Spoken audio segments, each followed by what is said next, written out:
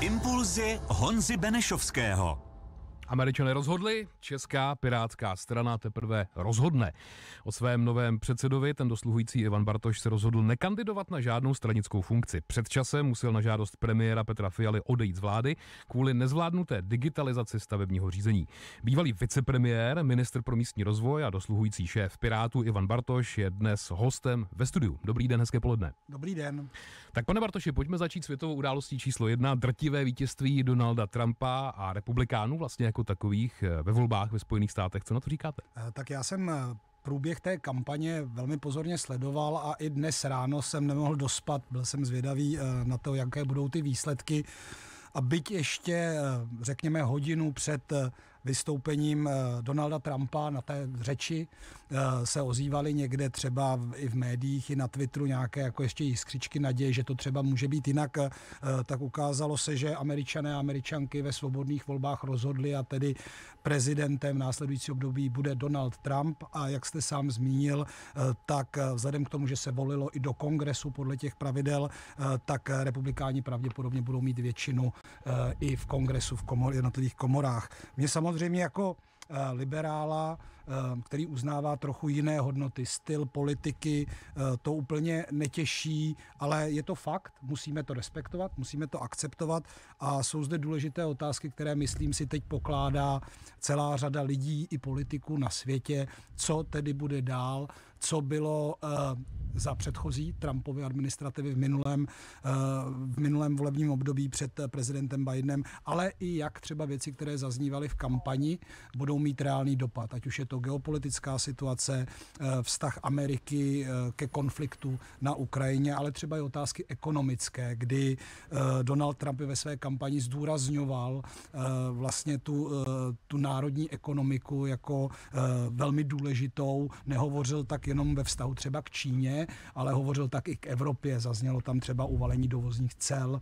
My jsme se snažili vždycky rozvíjet tu transatlantickou spolupráci, ať už v oblasti technologií, digitalizace obchodu pozitivně. Já jsem byl před rokem eh, a něco, myslím, eh, s poslaneckým, eh, teda pardon, s biznisovým, s biznisovou suitou na takové misi. Řešili jsme třeba i pracovní víza pro Čechy v Americe. Mohl jsem tam nacítit tu atmosféru, tak já doufám, že nějakým způsobem si to teď sedne a zejména ten vztah, vztah Ameriky Eh, vůči Evropě, anebo k tomu konfliktu, který my prostě máme za humny, eh, tak se bude nějakým jako očekávaným způsobem vyvíjet. To si můžeme ještě rozebrat víc do detailů. Mě by spíš zajímalo, jestli nemáte pocit z té kampaně, že se z toho Donalda Trumpa dělal větší bubák, než ve skutečnosti je, nebo může být, že se mu nasazovala psí hlava, protože ostatně stal se teďko americkým prezidentem, vliv eh, této funkce na celosvětovou evropskou, potažmo i českou politiku bude docela velký. Tak eh, jestli eh, to, co se kolem něj dělo, nebylo třeba zbytečné? Eh, tak často se říká, že kdo seje vítr, sklízí bouři a Donald Trump i v době svého prvního prezidentování, třeba v té kampani, tak si ty servítky jako moc nebral, ať už to byly věci, které se týkaly samotného průběhu voleb, kdy on neuznal ty výsledky minulých voleb, pak to byl a stále to je spojováno s Donaldem Trumpem i v té jako právní rovině, eh, ten útok na kapitol, který proběhl.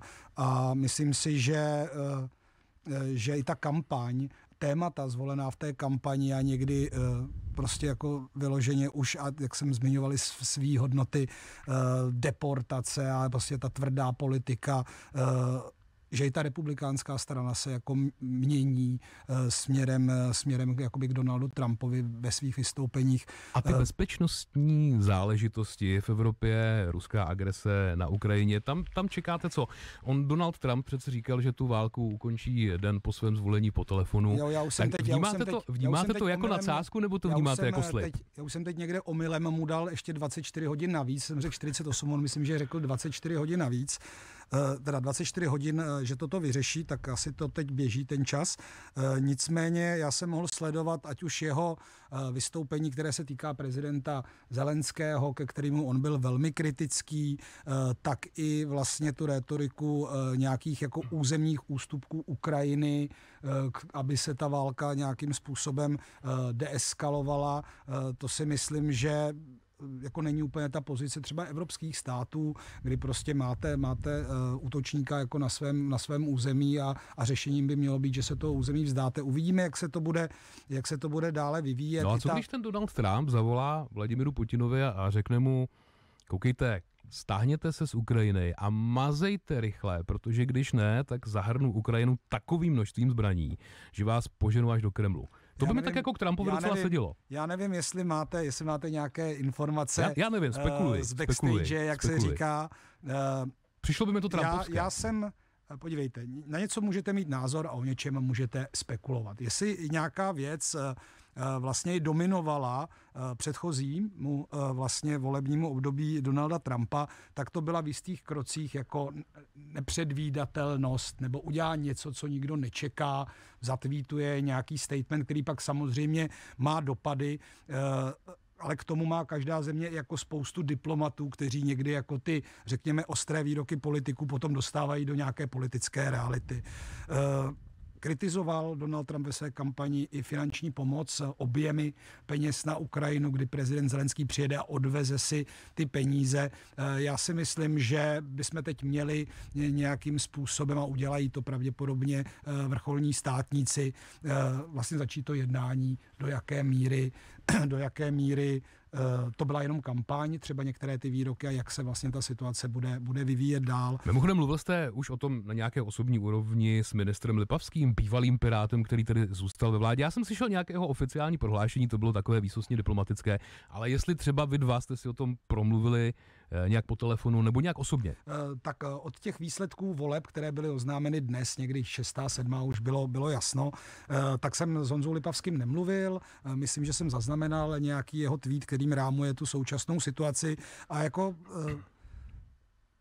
vlády jsou různé v různých zemích a cílem diplomacie je vždy ať už jsou ty volby někde v Evropě, ať už eh, se ta situace vyvíjí eh, v tato mezinárodním poli nějakým způsobem hledat nějakou novou, novou hladinu, nějakého koncenzu toho budoucího fungování eh, a Myslím si, že tohle to bude i role České republiky. Já si myslím, že ať už jako součást aliance a konečně vláda plní 2% na obranu. Ale to je mimochodem třeba také díky Donaldu Trumpovi.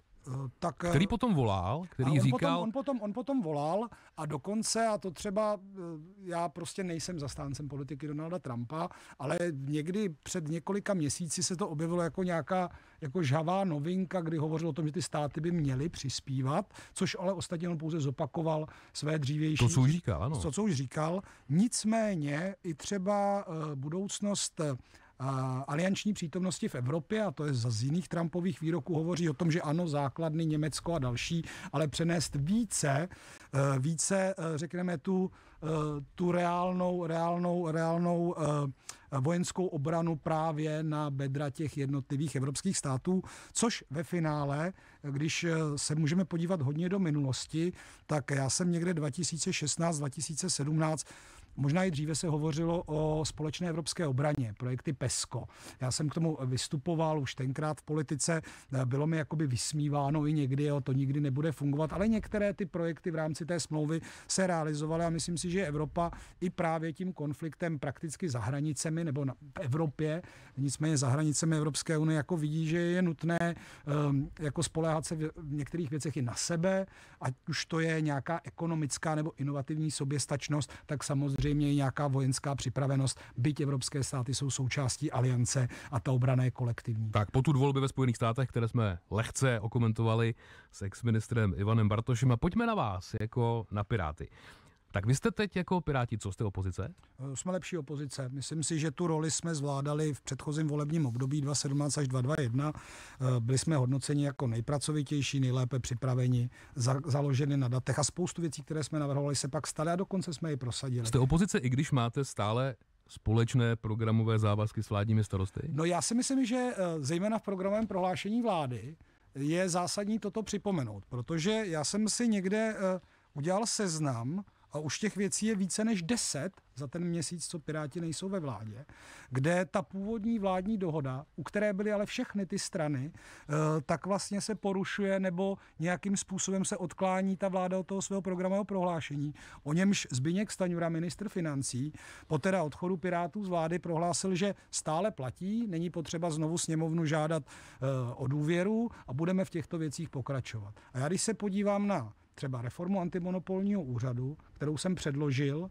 prošla už kolečkem ministerstev a najednou se bere zpátky a, je, a, a asi bude zastavena, asi se nestihne a spoustu dalších věcí, zákon o tom, aby politici nemohli pobírat eh, nebo soutěžit veřejné zakázky na národní úrovni, smeteno týden potom. Dětské skupiny, na které měl mít Marian Jurečka adekvátní peníze a ty programy, zastaveny peníze tam nejsou. Čili šijete do koalice spolu, ale já jsem se spíš ptal ne, ne, na ty, na ty starosty, se, jestli, se ptal, jestli budete opozicí ale ne, taky ale vůči tak starostům. Součástí, součástí vládní koalice jsou i starostové, my jsme kandidovali spolu. Konstruktivní opozice prosazuje věci, kterých si myslí, že jsou dobré a kritizuje, který si myslí, že jsou špatné. A já musím říct, že eh, i třeba pozicí Pirátů v té vládě s těmi čtyřmi poslanci, eh, tak samozřejmě ten jakoby to bouchnutí do stolu, ale ne virtuální někde v šatně, řekl si mu to, ale na ten počet poslanců, které je potřeba ke schvalování vládních návrhů, přece mělo vždycky hnutí stan. A ať už to byla otázka třeba peněz do školství, kde já jsem nehlasoval pro minulý návrh rozpočtu ani pro tento a avizovali jsme to, kde prostě se bere vysokým školám a další věci, to si přece musí prosadit eh, hnutí stan právě tím počtem poslanců, kteří jsou relevantní pro tu sněmovnu a pro tu vládní většinu. Zas na druhou stranu v některých věcech, například moje vlajková loď zákon o podpoře bydlení, na který se čeká 30 let, důležitá reforma, která může pomoct milionu a půl lidí v nějaké životní situaci, tak eh, se ozval minister Kulhánek a já se cením a hovořil o tom, že tento zákon, tak jak je navržen, je dobrý a je potřeba ho prosadit tak, jak je, protože v budoucnu ušetří České republice. Jak na vás, pane Bartoši, zapůsobily ty kontroverzní výroky Pirátů? Na adresu vlády, když jste skončili, že, cituji, kmotr zůstane kmotrem, i když ho natřete na fialovo. Jak se vám to poslouchalo ještě tehdy, v té době, jako členovi vlády Petra Fialy? Eh, tak eh, jednak, eh, když odvoláte předsedu koaliční strany po telefonu, tak jenom člověk, co tu politiku fakt nesleduje, si myslí, že to nebyl jasný vzkaz Piráti, už nejste v té vládě vítáni. A tak jak... No ale vy jste tam byli ještě stále asi, a poslouchal tak, jste něco tak, o kmotrech asi, natřených na fialovo. Uh, tak uh, já si myslím, že a to je reference Kláry, Dosta, uh, pardon, Kláry Kocmanové. Uh, to slovo kmotr použil prvně, uh, myslím, že Mirek Topolánek. Jasně, všichni víme, jaký má kontext a vaše poslankyně ho použila směrem k této vládě. že uh, prostě to propojení politiky a biznisu a to naslouchání vlastně jako těm zájmovým skupinám, to vlastně, a Česká republika na tom indexu oligarchizace je druhá po Rusku, podle Economist, The Economist, podle toho indexu, uh, tak prostě se začalo projevovat. No a myslím si, že v některých věcech, ať už je to otázky třeba debaty energie, klimatické změny, vlastně věci, které i i vláda Petra Fialy v rámci eh, evropského předsednictví prosazovala, tak jako najednou jsou vidět ty tlaky, ať už to je eh, od výrobců energií. Čili tak tepla. úplně nedáváte ruce pryč od toho výroku, tak, tak samozřejmě je to... ty, ty jednotlivé výroky samozřejmě byly vedeny a politik není člověk, který nemá emoce. Jo?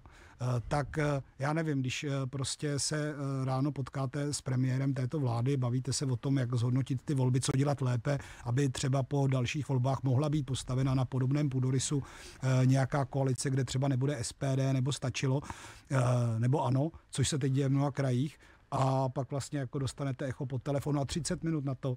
A já to nenesu nějak jako úkorně, jo, prostě taková je politika. Už jako deven, deven, eh, deven prezentace nebo tisková konference premiéra oznámení, tak to samozřejmě jako taky jedno naštve. Takže určitě jistou roli v tom hrály emoce, a když si odprostíme jako ten název nebo, nebo to slovo, tak fakticky to popisuje ty tlaky, které prostě jsou na tu realizaci politiky, která by měla jako řešit společnost jako celek a nebýt výhodná pouze pro nějaké skupiny což se třeba pár dní potom stalo, kdy se přiklepla nějaká dotace na transformaci eh, teplárny 10 miliard, snad největší z modernizačního fondu. Myslím si, že to bylo pro pana Křetinského, ale to teď není relevantní. Bývalý místo předseda vlády a dosluhující šéf Pirátů Ivan Bartoš je s námi ve vysílání.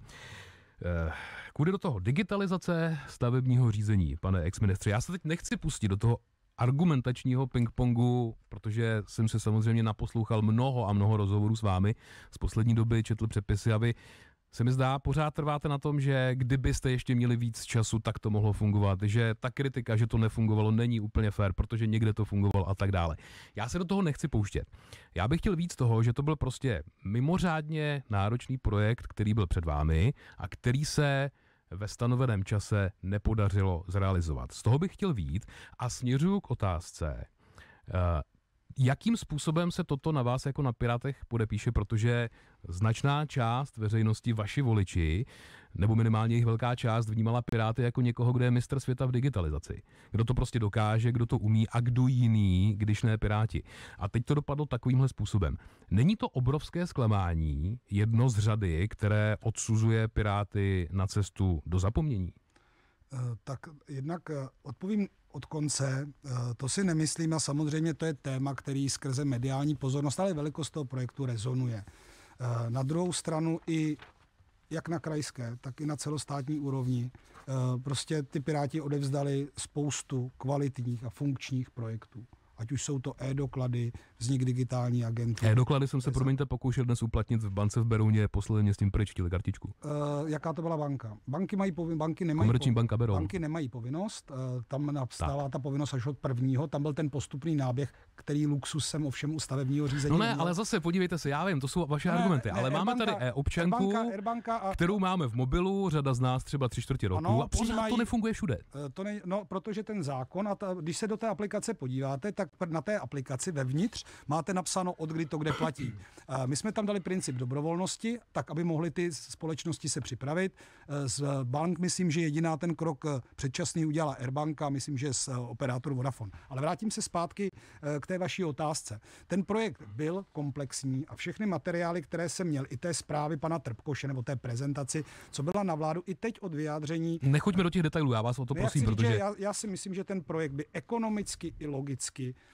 dávalo smysl dodělat, neboť architektura, vybraný software i legálnost toho projektu, což zrovna potvrdil eh, i hlavní právník Transparency International. Máme poslední tři minuty. Dobře. Nepoškodilo to Piráty natolik, Samozřejmě, že je to odsuzuje na cestu do já zapomnění? Já si nemyslím, že je to odsuzuje na cestu do zapomnění. To by byla podobná otázka, co udělalo propad eh, KDU ČSL na 2% nebo topky často, často po 3-4%. Prostě děláte nějaké věci, nějaké kroky, některé se podaří. Mě mrzí, že se nepodařilo včas dodat tu digitalizaci v té kvalitě, jak byla očekávána.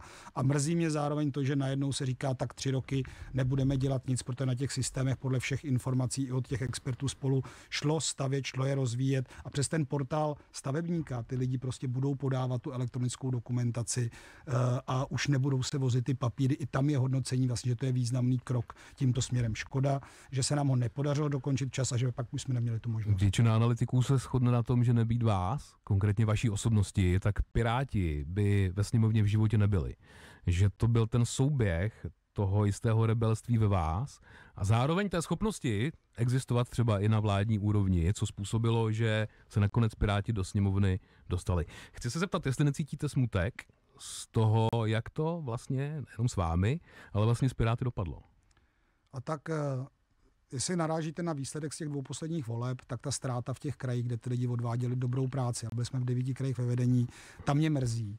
Uh, osobně já prostě jsem zvyklý, uh, a ještě předtím nevznikli Piráti, uh, prostě pracovat pro nějakou myšlenku, který... Nemyslel jsem jenom volební výsledky, ale i to vaše vládní angažmá, jakým ty, způsobem vy ty piráty, to skončilo? Vy ty piráty už tady tak jako pohřbíváte a já si myslím, že to jako je úplně jako špatná No tak debakl v evropských volbách, debakl v krajských volbách? No tak eh, musíme prostě zabrat, myslím si, že i do volby 2025 i ta nová volba předsednictva, i vnitřní reformy, aby ta strana byla srozumitelnější, rychleji dodávala, jsou podstatní. Myslím si, že jsme jediná strana toho typu středová, liberální, otevřená, která prostě jako má mezi sebou lidi vysoké odbornosti od ekonomiky přes zdravotnictví, sociální sociální práci a tak jako je potřeba zabrat. Já si myslím, že Pirátská strana má místo na české politické scéně a někdy v té politice se vám prostě daří a někdy, někdy se nedaří. A eh, je to o té nabídce těm voličům, jak jste srozumitelný, uvěřitelný a někdy se úplně nepočítá, to nikomu nevyčítám, co už všecko se třeba díky vám stalo, nebo co jste zastavili. Eh, takže je to i třeba otázka marketingu. Na druhou stranu už si nechcete říct o žádnou funkci ve vedení strany, pokud to stále ještě platí, platí no, to. Tak volí se předsednictvo a mně přijde zvláštní říci při přijal jsem politickou zodpovědnost za dvoje neúspěšné volby a měsíc na to znovu kandidovat do vedení. Takže strany. nekandidujete, platí. Nekandiduju do, do, do republikového předsednictva a uh, spousta lidí si myslí, že jako uh, v tuto chvíli Piráti jsou někde, už jako nejsou ve sněmovně a někam odešli, ale tak v těch čtyřech poslancích uh, mě čeká rok uh, výkonu poslaneckého mandátu. A no, už v podstatě za, necelý rok. Necelý rok ale... Z toho vychází tedy moje poslední otázka, kdy budete mít jasno v tom, jestli půjdete do příštích sněmovních voleb? Eh, tak já hlavně teď vyhlížím, vyhlížím volbu toho předsednictva a kandidátky do sněmovních voleb se budou řešit někdy v lednu nebo v únoru podle harmonogramu. Teď u vás převažuje spíš co? Spíš ano nebo spíš ne? Teď u mě převažuje potřeba, aby ve sněmovně třetím čtením prošel nejdůležitější zákon asi, který si myslím, že a to je zákon o podpoře bydlení. Pane Bartoši, ptal jsem se na to, zda u vás převažuje spíš půjdu nebo spíš nepůjdu do příštích sněmovních To je, záleží celá řada okolností. Pokud eh, tam bude ta výzva a podaří se mi kloubit ty věci, protože mám taky rodinu, který jsem samozřejmě jako ministr se nemohl úplně jako věnovat, jak bych si představoval čtyřletýho kluka, už 18 letou dceru, eh, tak to chci prostě nějak jinak nastavit. Je pravda, že 15 let téměř v čele Pirátské strany a sedm let v té politice vrcholné, ať už je to sněmovní politika, kde jsme fakt jako i v té opozici pracovali, tak zejména ve výkonu toho, eh, toho eh, té pozice ministra místního rozvoje a i, i té digitalizace, eh, tak to byl pořádný záhul i pro člověka, který, a já věřím, ten elán prostě z něj cítit je. Tak uvidíme, kam nás to zanese. Dredy zůstanou. Eh, dready jsou, a možná to je paradoxní, eh, důkazem mého, eh, řekněme, konzervativního přístupu, nebo tím mám od 20 let a vlastně nevím proč, zatím neplešatím bych ty dready měl sundávat jenom kvůli tomu, že už mi je 44. Říká bývalý ministr místního rozvoje, končící předseda Pirátské strany Ivan Bartoš. Moc vám děkujeme, že jste přišel za našimi posluchači k nám do studia. Mějte se moc hezké naslyšenou. Já děkuji za pozvání, zajímavé otázky, ať se všem daří.